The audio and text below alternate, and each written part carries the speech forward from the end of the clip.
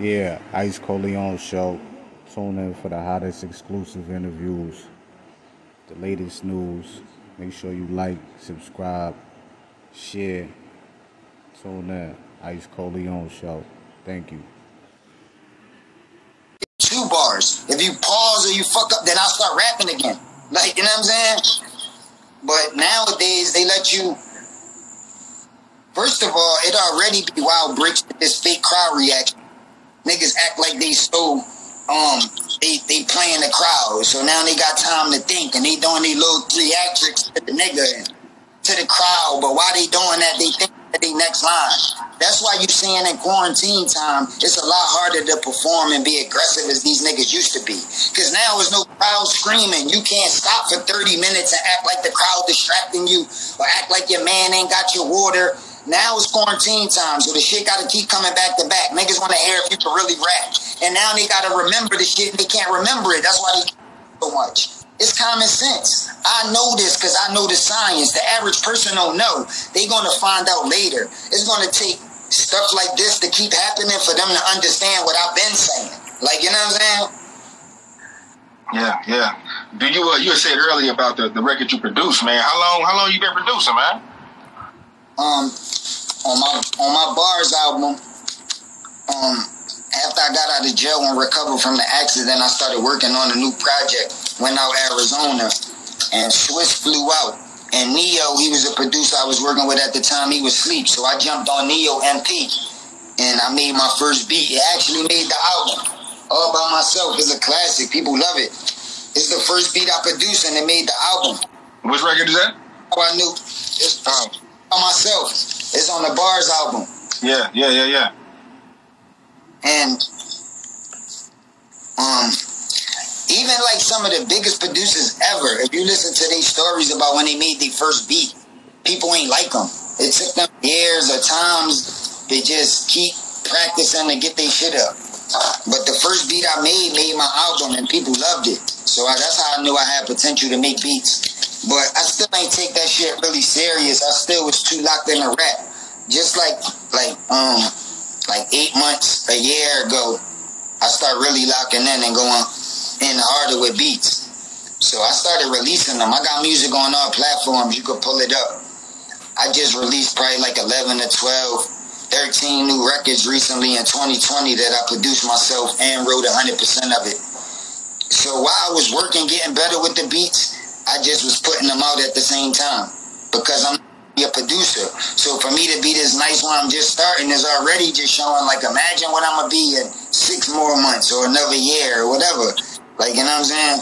And I'm still the best with this bar shit. It's not like I'm letting up and I'm producing now, so my bars like uh, no, I'm I'm still talking that shit with this rap shit. Outworking everybody that rap.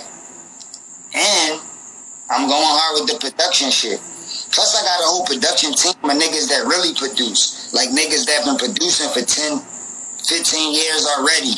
And that's all they do. They don't really rap or do else, they just produce got a whole production team of niggas like that too that get busy. So I just love music. So I just like to do everything that I can do. And that's something I could do a little bit. Yeah, yeah, yeah. I mean, you were saying, man, like you said, you know what I'm saying. You the, you the king of, the, of this of this battle shit, of these bars, man.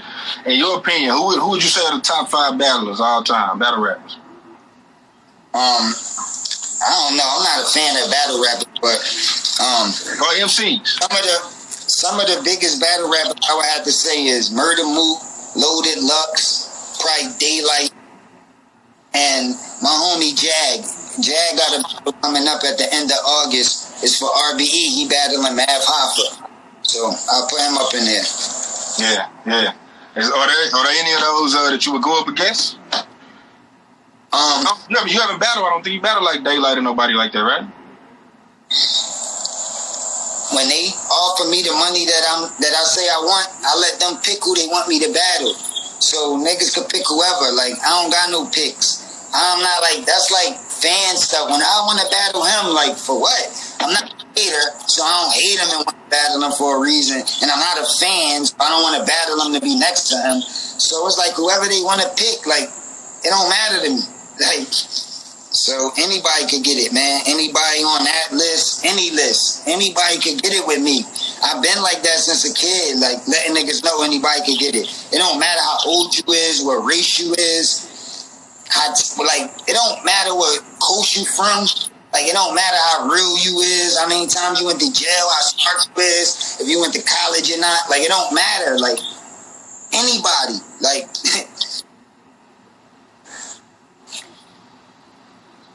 anybody, man. yeah, yeah.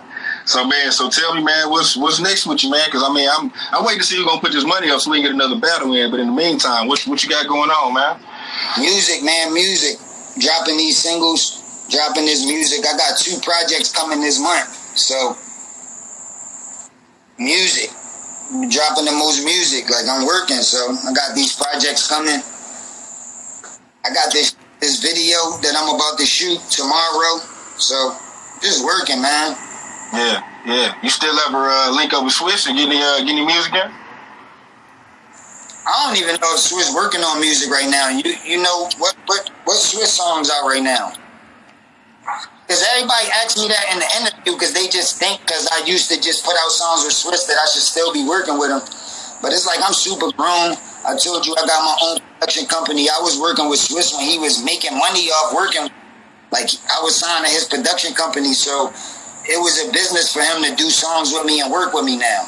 But now that I'm a independent machine and he doing his thing, it's not as beneficial for us to work with each other like it used to be.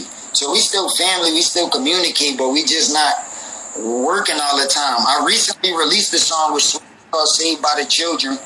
I just released that. Um, not too long ago, but um, I'm willing to work with Swizz whenever, man. Like, I mean, we started together, so he always could reach out. I'm a workaholic. I told you I'm about to put out two projects, two whole full projects this month. Um, so I'm a workaholic, but I'm not sure if Swizz is focused on music like that, like I used to be. You got so much other shit going on. I don't know if he making beats or not. Yeah, yeah. What about uh what about a Verzuz, man? What if there was like a battle rap edition of Verzuz or something like that? Would you participate in something like that? I got enough records for Verzuz.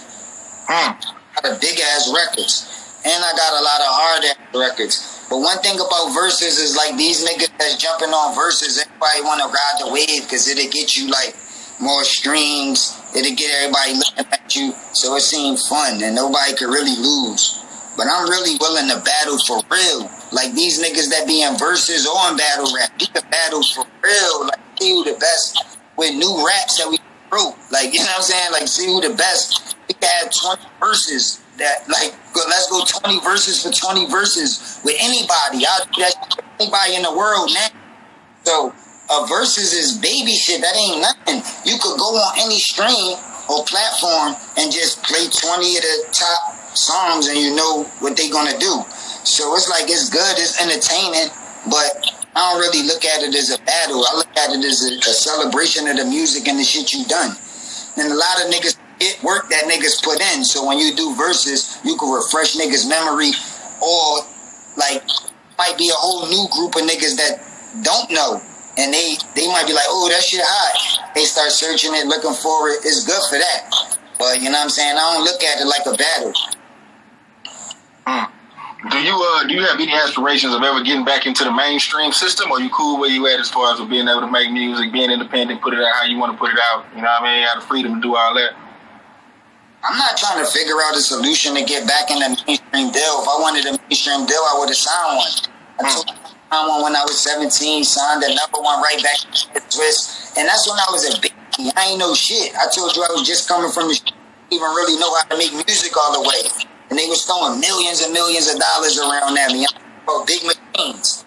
So it's not like I'm trying to figure out how to get signed. Like I'm trying to figure out like I gotta do something. No, no, no. I, I didn't mean I didn't mean that. I just mean is that like an aspiration? Do you care to be back into the mainstream? Now I'm not talking to you. I'm talking about to the people that's watching because it do be people confused like that. Like I gotta switch something or alter something, or I gotta work with this type of producer, or I gotta do this type of flow. They think it's something that you gotta do to get a mainstream deal. Like, nah, I wanted to be independent. Like, I wanted this opportunity to be independent and do everything from the muscle, and I want to stay like this. Yeah, yeah. That's what it is. Let me see if we got some questions. We got any questions in here? Uh, we ain't gonna ask that. Let's see.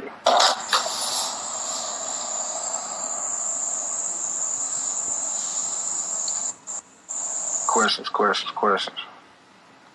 I just don't understand how even the top people that's in the industry now complain about contracts, complain about management deals, complain about how they not no money, complain about how the companies rob them. I'm talking about the people that's charting right now, that's hot now. They all complain. Nobody say their situation lit. The only ones is the ones that's confused, fronting in the beginning. But once they really get in the business, nobody happy. Everybody complaining. Even the niggas that's selling the most records, winning awards, and the biggest chains on, they complaining that they getting robbed. Nobody happy with this shit. But soon as niggas talk to niggas with talent, they like, when you gonna get a deal? Or you gonna go back with the make? Like that's the out. Like that's the thing to do. And right. I don't fight for nobody. Like even artists that I love from the seventies and the sixties and shit. Like they've been telling me that this industry fucked up. I looked at niggas from the 80s. They told me it's fucked up. Niggas from the 90s said, yo, we got robbed. Then the niggas that came around my time, 2000s and shit, yo, this shit ain't shit. This shit is robbery. So why the fuck is niggas so happy to just sign to a major? It's like, man, it's definitely money getting passed around, but you're not making the right amount of money. So you should just figure out why the money getting passed around and just figure out a way to get it on your own instead of relying on these people to just put you in a situation. Yeah. No, I, I definitely feel that. I feel that. Hey, Man. understand why they do it. It's a business, and they geniuses for doing it. I ain't. I'm just saying, if you understand the business, why would you put yourself in that predicament? Like I don't knock the three car Molly niggas. Like I was locked up with a three car Molly nigga and a nigga that did the top all in it. And he showed me that them niggas can never lose at that game. You can never beat them niggas. Like they just playing with your mind. They just gonna always take your money every single time. You never could beat them niggas with three car Molly or that top game. That shit is like uh, is rigged. So I would never play that shit. I would never spend my money with that. But I'm not gonna go past every three car molly and just that that you can never win and you can never do that. Like if you want to play, play. Like you know what I'm saying? I probably made a mistake in the past when I was a baby. Maybe I played when I was 11 years old or something. Who knows? I'm not gonna blow they shit up. I'm not knocking them. Y'all do what y'all do. But I'm not going to do it because I know for sure. I know the fucking, I, I understand the shit. So it's the same thing with the business, man. Yeah. Ain't knocking niggas going to go get deals because y'all want to play three car Molly. Go ahead, gamble. And sometimes, in order for them to get big money, they might let, might let somebody that's walking around win some small money. Nigga think he won some small money, think he really won. But nah, you ain't really winning though. We really winning. Like, you know? Yeah. Tables thing. Might give niggas a little small bit of money to make it seem like they won a little bit. Like, you know? It's a whole lot of money you're not getting though. People want to get deals. That's yeah. what that. Nobody want to play if they just won every hand. They gotta make it seem like niggas be winning sometime, so people be like, "Oh, I want to bet." Like, you know what I'm saying? Same shit, man. Yeah, yeah. Now, and especially for artists like yourself, who's already established, you know, following. You got your fan base. Whatever you put out, you can go straight to the consumer. You know what I'm saying? For sure, these niggas that's in the industry don't even got no access to the the people that's buying these shit. They don't even know how to get in contact with them or how to get back with them. So when I was going platinum or when I was going gold or when I was selling all these records, I had no access to people that went in the stores and bought the records. So if I came out with another record, how could I let them know that I was about to drop another record? I would have to rely on going through that same machine and hopefully everything that we do to them same people when they hear about it. Yeah. Yeah. But you can have more access to your consumer. You can really get the um, social media information. You can really get their emails. You can really get the information. And when you're about to drop again, you can send off blast to everybody that bought your shit before so they can want to buy your shit again. So, yeah. Yeah, for sure, for sure. Well, yeah, man, um, we're gonna wrap it up. But before we get out of here, man, like you, you've accomplished a lot. You know what I'm saying? Made classic, you know, hit records on the mainstream side, classic battles. You know what I'm saying? Still got the bars going to this day, man. What do you want your legacy to be defined as? The GOAT, the greatest. Nobody could fuck with me with the science. Putting bars together and rhyming. And never cheating on it. Like you listen back to my old catalog any point in my career and you will see I never cheat on the science. You will never hear me rhyming one syllable or doing some remixed ass some flipped around ass punch that a million niggas use. You will never hear me doing that. Like I never cheat on science. So that's what I want to go down for. Yeah, yeah. Being the best. For sure, for sure. That's what it is, man. When I I gotta send you some beats too, bro. I don't know if uh if you know what I'm saying. People, I tell you, man, but I produce and shit, man. So I gotta give you some beats, man. See if we can get some work in. Let's do it. Shit, Liddy at Gmail. Send it. Bad, bad, bad. But yeah, man, I appreciate you uh chopping it up with me, man. I'm gonna go ahead and get up out of here, man. But I appreciate you, bro. To the next time. Right there. Easy. Yeah, Ice Corleone Show. Tune in for the hottest exclusive interviews, the latest news. Make sure you like, subscribe, share. Tune in. Ice Corleone Show. Thank you.